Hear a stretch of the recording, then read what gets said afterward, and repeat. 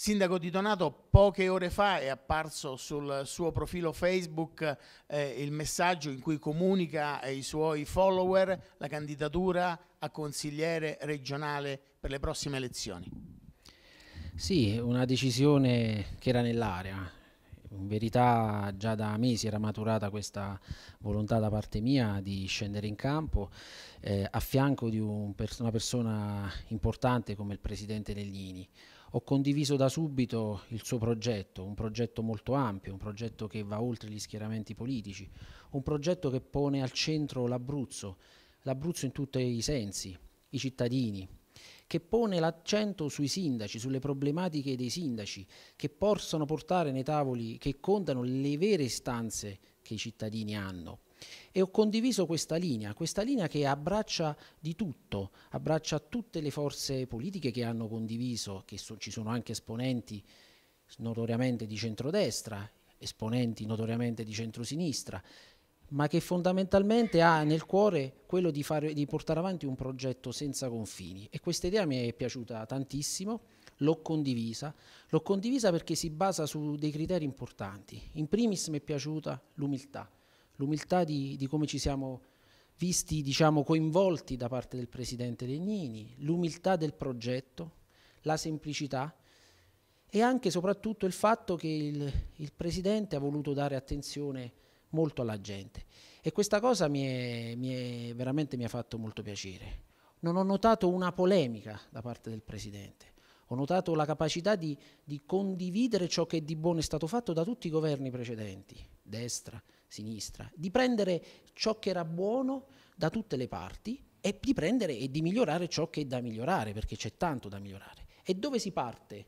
Si parte proprio dall'ascolto dei cittadini, l'ascolto della gente. E un presidente regione passa inevitabilmente per gli amministratori. E oggi c'era un entusiasmo enorme in quella sala. Ho visto tantissima gente, ho visto un entusiasmo.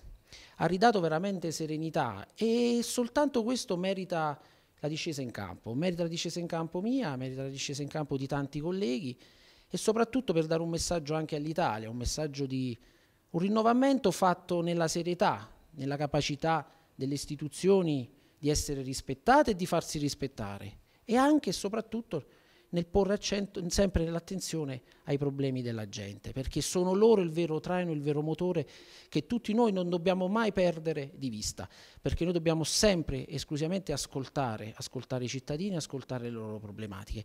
E questo progetto è il progetto del Presidente Leglini, un progetto ambizioso, un progetto grande, un progetto che è visto con grande attenzione a livello nazionale. C'è veramente un'attenzione importante che dobbiamo tutti quanti noi eh, vedere anche con un buon occhio in questo momento in cui si dicono e si scrivono tante cose non vere, dove la polemica è all'ordine del giorno sui social, dove il rispetto delle persone non c'è. E qui ho notato veramente che c'è tutto questo e per questo la figura di Francesco Di Donato si sposa bene con questo progetto. Come pensa in caso di vittoria di poter coniugare entrambi le cariche, quello di sindaco ed eventualmente di consigliere regionale o assessore?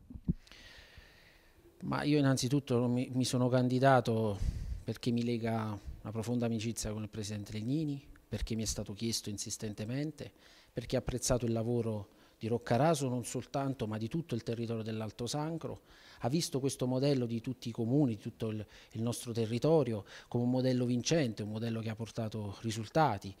Ha visto in cittadini, imprese, eh, eh, compagini sociali, amministratori, ha visto gente che è disposta al sacrificio e ha portato risultati e, e lo ha chiesto. E questa candidatura mia eh, si basa su questo. Il risultato, se viene siamo contenti, siamo competitivi, questo è scontato, non ci tireremo indietro dalla lotta politica e siamo convinti anche di fare un bel risultato perché l'immagine che è stata data in questi anni è un'immagine forte e c'è un consenso nella provincia dell'Aquila in Abruzzo che è tangibile, evidente, che porta che porta veramente a ben sperare.